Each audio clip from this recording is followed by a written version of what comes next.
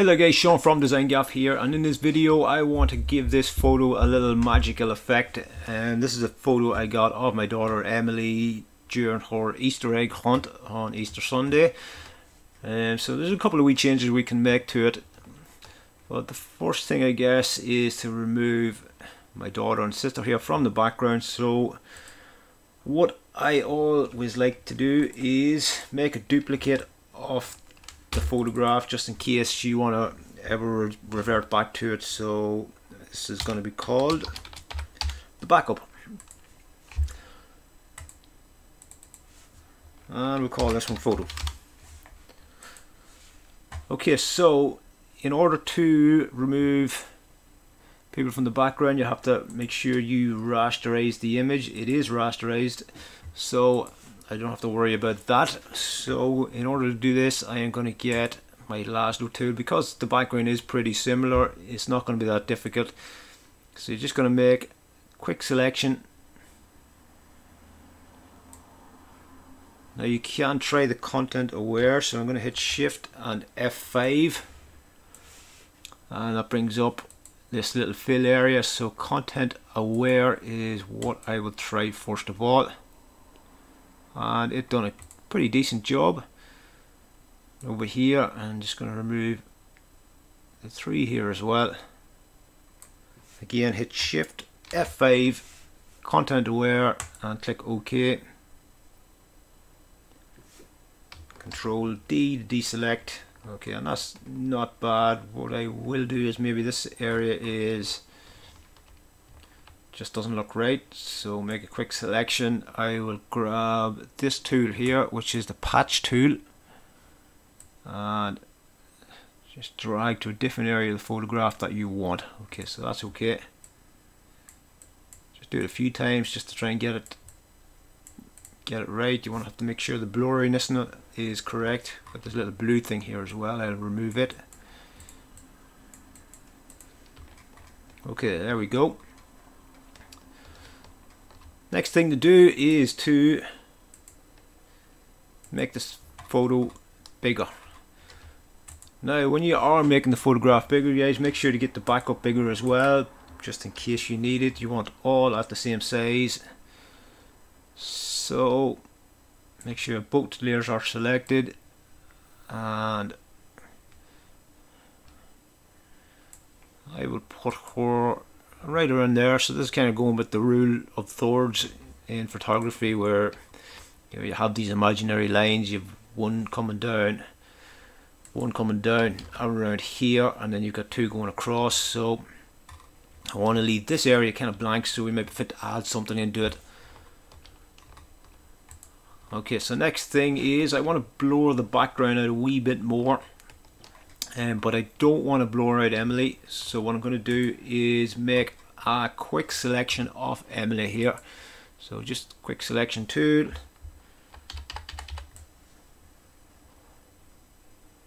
Make this brush a little bit. There we go. Make sure get our legs. Okay so I don't want this area in here so I'm going to click on alt uh, hold alt and just deselect that area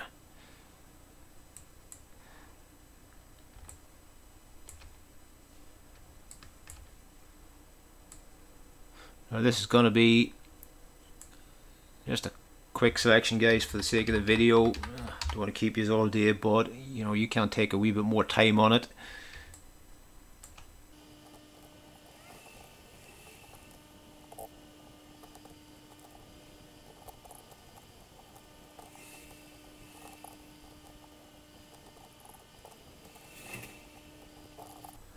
Okay guys, so there we go, we got a quick selection here. Um, I'm not going to worry about fine tuning the hair yet because we will fix that later here. So make sure you've got your photo selected.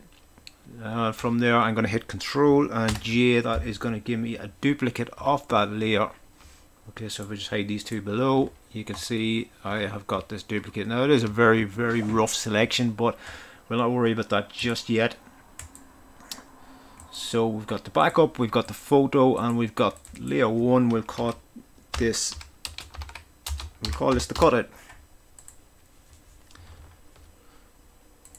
Okay, so there we go.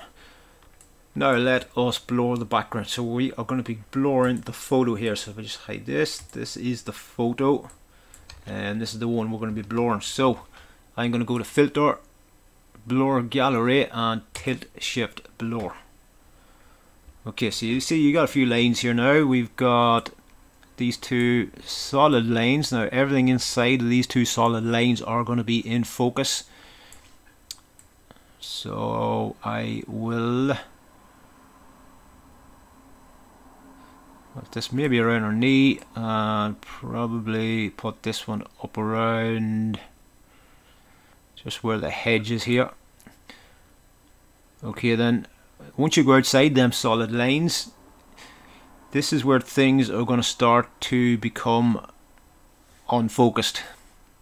Okay so once you get past the dotted lines everything is going to be pretty much out of focus. So I am going to take this up to around here. This one up maybe to just around her ankles. Just down a wee bit more maybe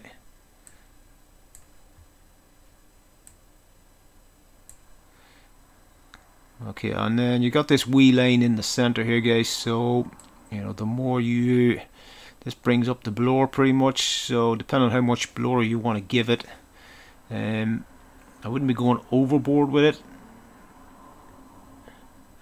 I'm to go to around 40, 45 maybe for this. I'm to click OK here. And that is what we get. Okay, but Emily's out of focus. But we have the cutout here so if I bring this back it brings her back into focus. But unfortunately though you know from with the blur it kind of gives this little glowy effect behind her and we don't really want that. So I'm going to hide the cutout again. Again I'm going to go to the photo here. And just like we did at the start I'm going to get the lasso tool. Just make a quick selection and then I'm going to go to the patch tool here I'm going to click on my selection, drag it to an area that looks similar to the background. In this case it is pretty easy because the whole background is pretty similar. Now you might have to do this a few times just to kind of get the correct colors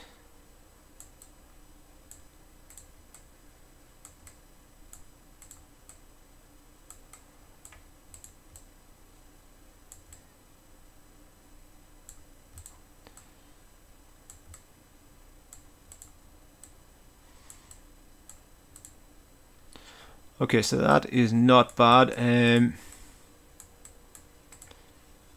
okay, so with that then, I um, now you always the good thing about this is you always have this backup here, and I think in fact we probably will need it soon enough.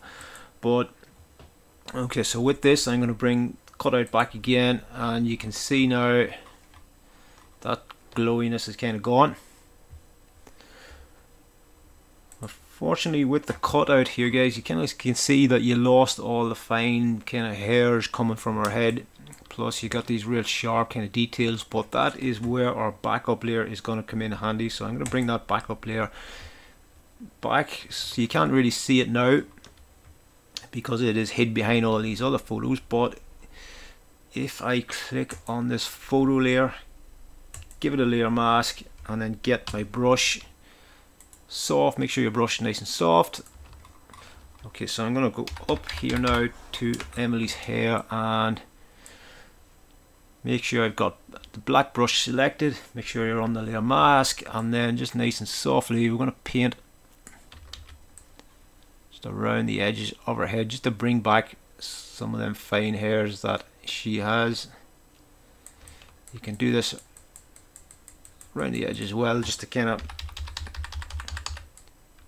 hide them sharp details.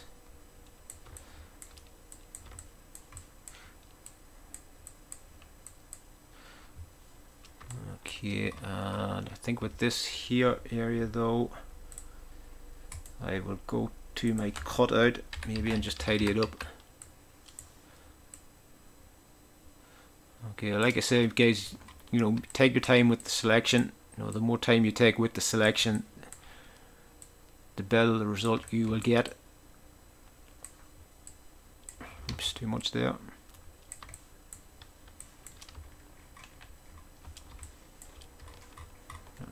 just over here.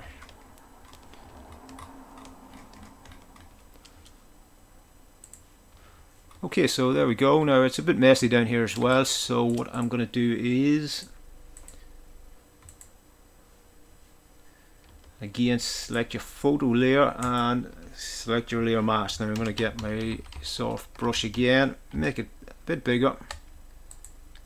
And what I will do is just paint back a little bit of the detail around here then bring the opacity down and paint a wee bit more. Bring the opacity down again and a little more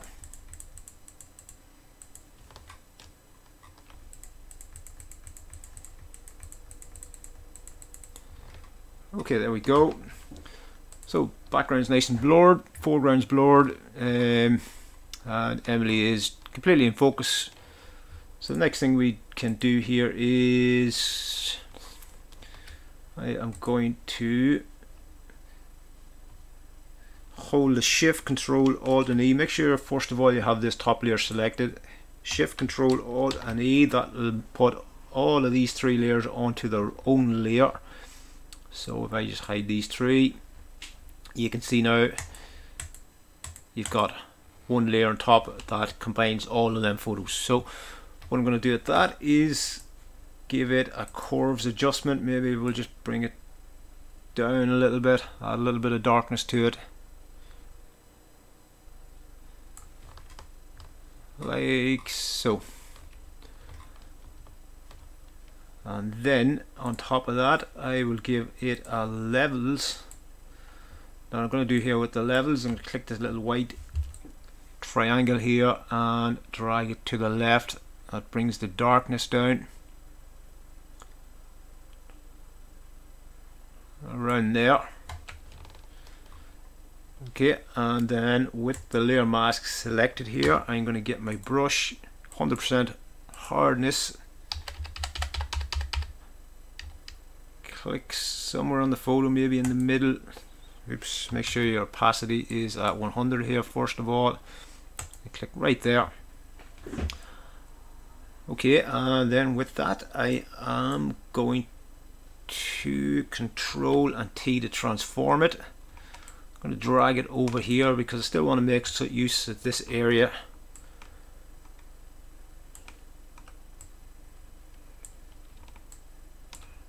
okay something like that. I'll right click here and distort. Just bring it down to our feet here as well.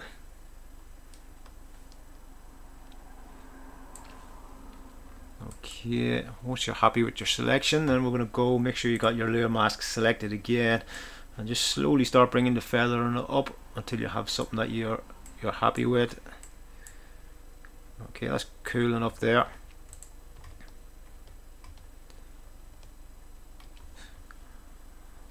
okay and then what we will do here at the top I am going to get a new layer get my brush again I have some sunlight brushes here that I will use. I like the first one. So I'm going to select it, flip it around so it's pointing up. I want to have this coming out of the basket here. So around there I'll do. Uh, maybe a little bit back a little bit. And make sure it's white selected. And from there I'm just going to click around there. Okay, so that's a wee kind of a light ray coming from the basket then. You can bring the opacity down because you don't want to completely hide our face.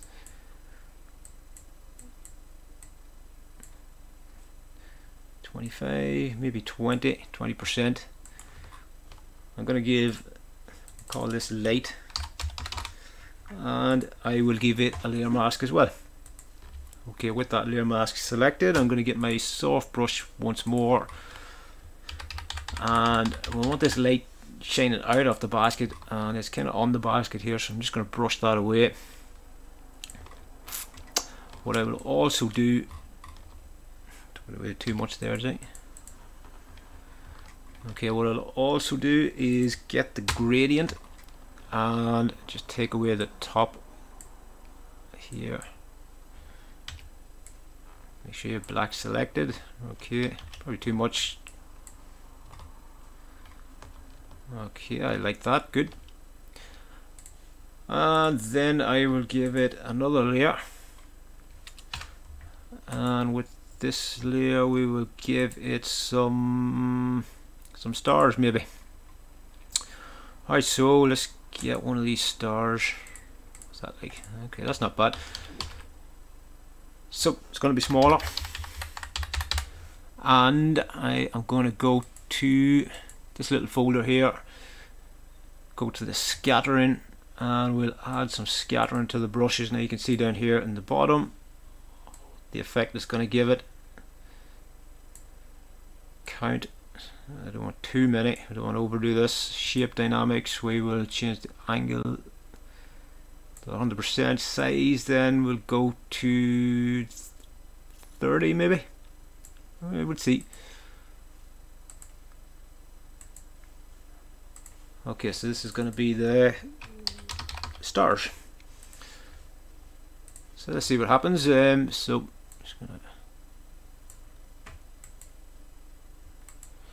okay I will have some coming over here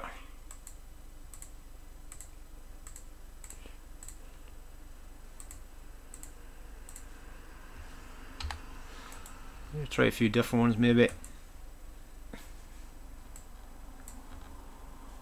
Okay I'm just gonna go into scattering and scatter it 100%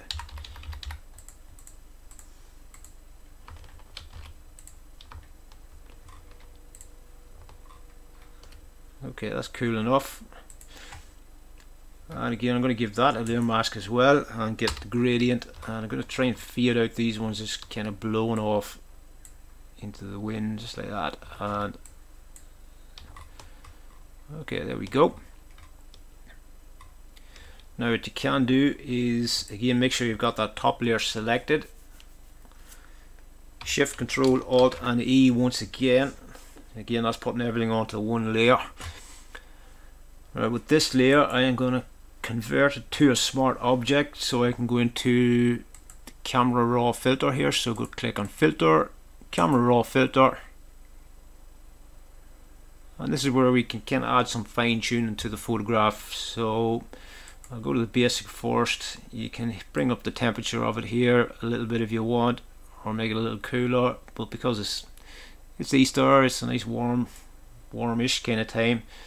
Exposure I think think's okay for this photo highlight shadows. Uh, we'll try the shadows down a little bit shall we?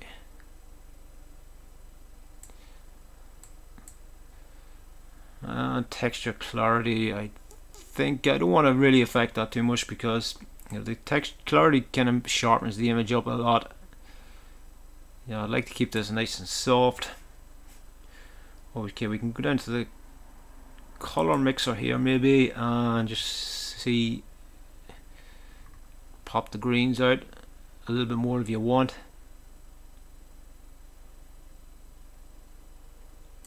And we've got magentas on our wellies here that's fine though. Okay and then I usually with these usually finish finish it up with a vignette but we can already have a vignette in this so we don't really need to touch it too much.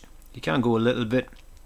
Um, if it was a movie style poster or something really epic I'd be adding in a little bit of grain but again I don't think it, you need it on this photograph. Okay when you're done just click on OK. Okay um, with this it's just a little change with this here guys. And what I will do is control T it maybe just bring it down this way a little bit. Okay and there that is what we get. So I will just put all that into a group. Okay so this is the before and this is the after. So a few simple little changes to it can give it a really kind of a magical effect. Um, so again one more time that is before and that is the after So guys, I hope you liked the video and I certainly hope you learned something from it. If you did, please make sure to give it the thumbs up and if you want to see more Photoshop tutorials and poster printing etc, please subscribe to the channel.